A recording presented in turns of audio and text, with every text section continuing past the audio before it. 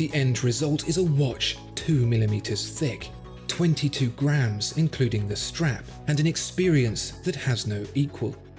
This is the very cutting edge of watchmaking, so far removed from what you or I are used to that it completely scrambles your brain trying to comprehend it.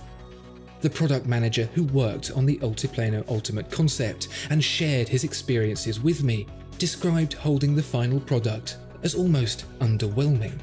The months and months of stress to solve problem after problem, resulting in a watch that you can barely even feel.